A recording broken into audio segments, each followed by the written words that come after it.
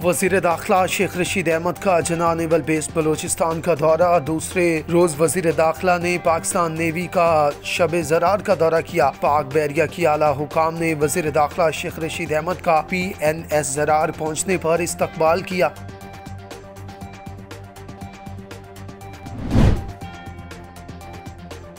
मुस्लिम league नून की जानब से एन एक सौ तैंतीस में खुलम खुला वोट खरीदने पर इलेक्शन कमीशन को एक्शन लेना होगा। एक्शन लेने में ताखिर की गई तो इलेक्शन कमीशन की गैर जानबदारी बुरी तरह मुतासर होने का खदशा है। तहरीक इंसाफ मुतालबा करती है की नून लीग के उम्मीदवार को वोट खरीदने पर ना अहल करके सख्त ऐसी सख्त सजा दी जाए। मामले खसूसी शहबाज गिल का ट्वीट।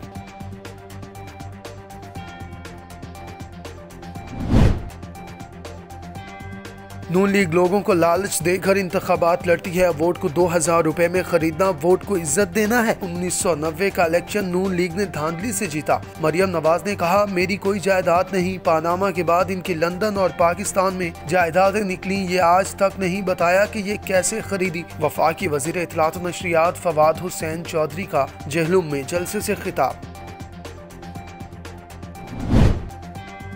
चटागांग टेस्ट का तीसरा रोज पहली इनिंग्स में बांग्लादेश के 330 रन के जवाब में पाकिस्तान दो रन बनाकर आउट। आबिद अली की सेंचुरी, तेजुल इस्लाम की सात विकटें, बांग्लादेश के दूसरी इनिंग्स में चार विकटों पर उनतालीस रन शाहिन शाह की तीन विकेटें।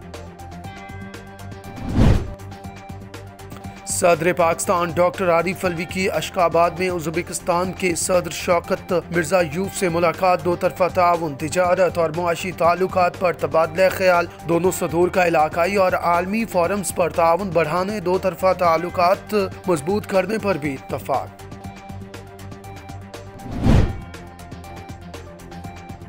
कराची मुबैना अखबार, लड़की की अनोखी कहानी, लड़की की रिक्शा में टिकटॉक। कराची में अबुल हसन असफानी रोड से 16 साल लड़की मुबैना तौर पर अखबार का वाक्य। लड़की की वालदा ने बताया कि इसकी बेटी की टिकटॉकर दोस्त के साथ रिक्शे में वीडियो टिकटॉक पर अपलोड हुई थी। लड़की की वालदा का कहना है कि टिकटॉकर लड़की कभी कहती है कि इनकी बेटी इसके साथ है और कभी कहती है की इसके साथ नहीं। वालदा ने शिकवा किया कि पुलिस भी तामुन नहीं कर रही।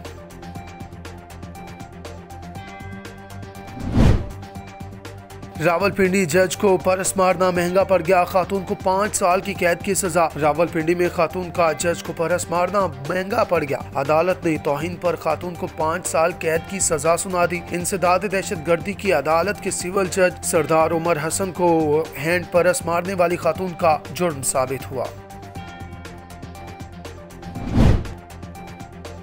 भाई की वलीमा की तकरीब में लीगी रहनुमा स्विमिंग पूल में गिरकर बाग खुशियों का घर, आहों और सिस्कियों से गूंज उठा पंजाब के जिला शेखोपर की तहसील फेरोजवाला में लीगी रहनुमा पूल में गिरकर बाग हो गया। Malik Zaheer Muslim League Noon union council chairman थे।